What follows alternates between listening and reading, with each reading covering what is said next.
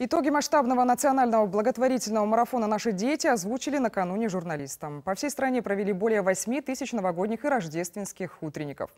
В этом году, чтобы каждый маленький белорус нашел свой подарок под елкой, удалось собрать почти 31 миллиард рублей.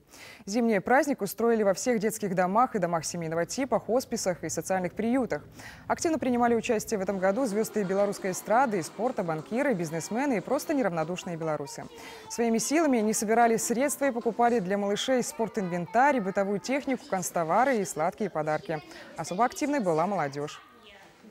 Отрадно участие самой молодежи, акции «Дети детям», которые проходят в год молодежи, потому что учащиеся, студенты также приняли участие в рамках акции. В их э, поле внимания были не только дети, но и старики, ветераны. Это тоже очень приятно.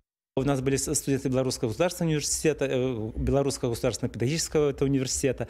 Когда они приезжали и делали небольшие концерты, это не профессиональные, это концерты ну, на уровне любительских, но это было очень трогательно, когда это было именно совместно с нашими, с нашими детьми.